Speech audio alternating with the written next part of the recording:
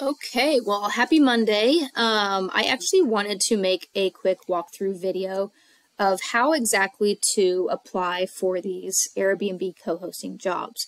Um, so if you're an Airbnb host and you have property and you're looking, you know, uh, for a co-host or something like that, this video may not apply to you. This is specifically for people who are interested in co-hosting.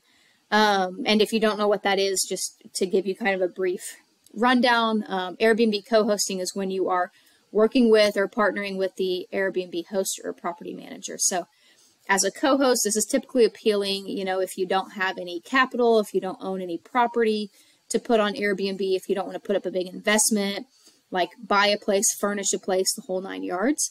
Um, so if this is for people who actually want to get paid, you know, make money on Airbnb and get paid from the host or the property owner, um, without actually putting up any investment on their end. So I think co-hosting is probably one of the best opportunities to get into here in 2023 because there are a ton of hosts. Um, obviously, with the rise of Airbnb in the past couple years or so, um, there are just a ton of hosts and a ton of property owners who are growing their business and they need people to come in and they need people to help them manage their listings. So they need people to help with writing reviews, communicate with guests. They need people who are going to be able to coordinate, um, you know, cleaners in and out of their units, who are going to be able to adjust the calendar, adjust pricing, um, things like that.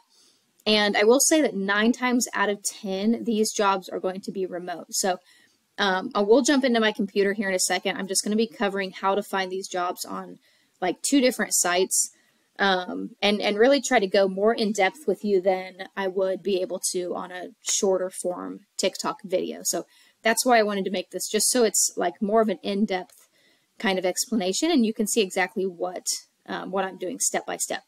So let me actually go back.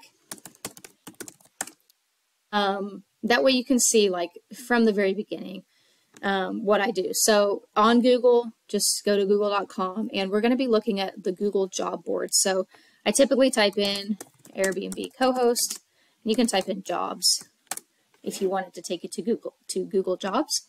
Let me move my bubble. Um, okay, so right here, when it says jobs like this, it's going to take you directly to Google Jobs. So that's what we want to do.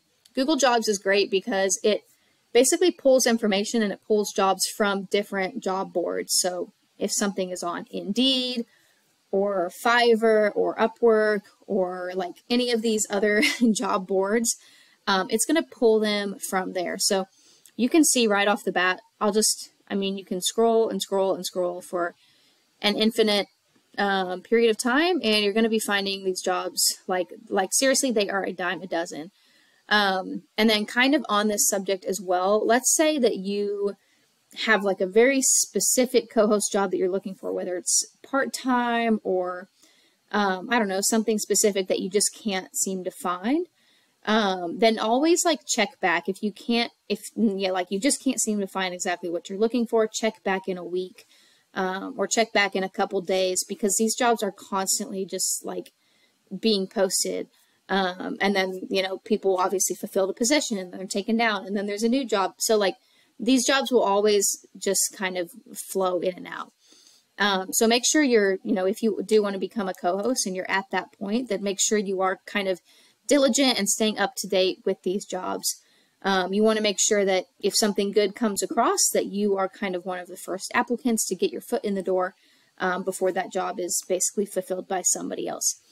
Um, so let's jump in here. I mean, this is, is pretty um, standard stuff, but let's just look at like the first example here. It'll let me do it. I have video processing for YouTube on the background, so I'm hoping it will let me click. Okay, so here we have remote Airbnb co-host. This is just the first one here. It's also, you can see that it is um, also available on Upwork. So Upwork is going to be the other site that I talk about here in a moment, just to show you exactly how to use them. But um, like I said, Google Jobs pulls from a lot of different sources, so you're going to be able to find the Upwork jobs typically on um, Google Jobs as well. Um, and then you have like stuff via Glassdoor. You have a bunch of other remote um, Airbnb co-host positions. So um, let's literally just look at one of them.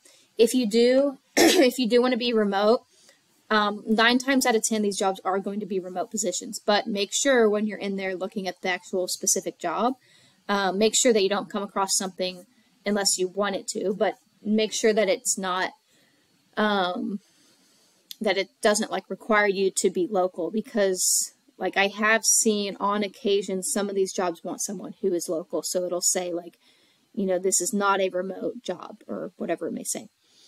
Um, in this case,